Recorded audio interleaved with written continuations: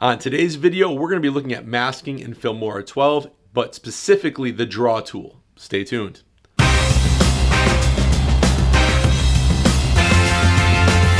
Hey, what's up everyone? Aaron here. Thanks for coming by and checking out another video.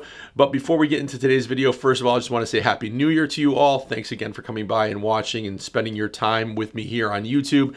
And today we're going to jump into the masking tool. And this is one video. I'm going to do a few others on this because there's many ways to use this new drawing tool with the masking setup here in Filmora, which really allows you to be creative and not stuck to just the presets that were there and having to manipulate those to work for your situation. So that being said, I'm really stoked that they finally put this in. It's going to eliminate me having to go to other software uh, to do certain things. I can now do it all within Filmora 12. So let's jump on the computer, take a look at how this is done.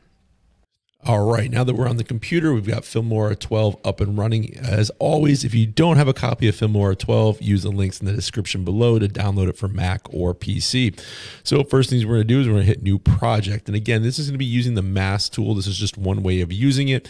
There's many different ways of using it, but this is just one way to have some text show up. So what we're going to do is we're going to import by clicking on the folder, selecting the clip we want to use, and bring it into our timeline. And then what we're going to do is we're going to go up to titles and we're going to pick a title. I'm going to use this one here and just bring that down into the timeline and then go back to my media and bring down another copy, making sure it lines up. And then I'm just going to put a click on the uh, hide the track and then bring this playhead forward to where I want to start seeing the car come through. And I'm going to just leave this as text and I'm going to start with the mask. So now that we have this in place, you can make this whatever you want it to be. On the bottom track, we're going to now work on track three. So we're going to lock that into place, lock the bottom track into place. We're going to show the third track and then we're going to double click on it to open up this uh, window here and we're going to go to mask. We're going to select the mask draw and then we're going to click this little button here which is going to highlight all these and make sure if it doesn't have path that doesn't highlight make sure you click on that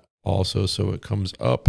Uh, it might have to do this first. So what we're going to do is start drawing our mask around the car. And if it's not precise, don't worry about it. This is just for demonstration purposes only. If you are doing this for your project, make sure you get it as close to Ken as far as where the mask should be. We're going to bring it right around and back up. Now, once your mask is completed, you'll be able to then click on the path. And this is what we're to do. We're to extend our timeline here. We're to move the playhead forward a little bit click back on here, then move the whole mask forward and see it made a little keyframe down here for us. We're going to move it forward a little bit more, mask forward again, some more, the playhead a little bit forward, the mask, and then we should be done. So this is what it's going to look like on the front end. And then we could always have it disappear by doing the process in reverse with this car to make the text disappear.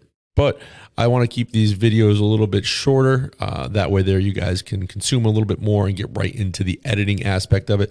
So, if I wanted to use that, I would then let's say that you start to see the car come in there, and I would just want to make that disappear. I'm going to unlock it, and I'm just going to shrink this down so it fits. So it just will pop off the screen. Again, there's other ways of making it happen, but uh, that's just for time purposes. So, like I said, it's really easy. Most of your masking is going to be done this way, where you're going to use two of the same tracks, whether you are removing a background or putting somebody, you know, standing here, or maybe you want to mask this person out. You can do all that using the mask drawing tool. But again, this is just really a, a, way to show you how to start using the mask tool to do cool effects like that and do it relatively fast. And what's nice about having the draw tool is now we're not locked into these presets that were there before. We can we can make it any shape, size, or curvature that we want. So that's how you use the masking tool. That was just a real quick example.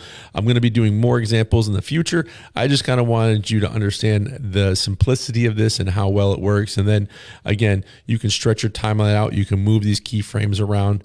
Whatever you need to do, you can really get into precise. So like, okay, so now that I'm I'm slowing this down and looking at it, see how it's really uh, there's like a hard cut right there. So what I'm going to do is I'm going to go into the blur strength and I'm going to start blurring that in a little bit. So when you see it now, it's a little bit more blurry. It adds a better effect as opposed of having that hard line there. And again, this is just for demonstration purposes. Hopefully you can start to understand and see how powerful the draw tool is when using masks. So let's jump off the computer.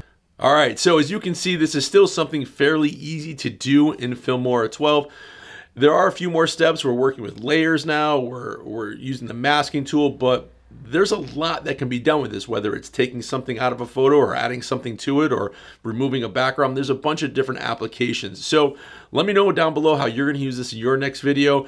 And uh, like I said, we're going to get into some other masking videos to really see how this tool can be utilized and how far we can push it. So thanks for watching. I look forward to seeing you in the next video. Peace.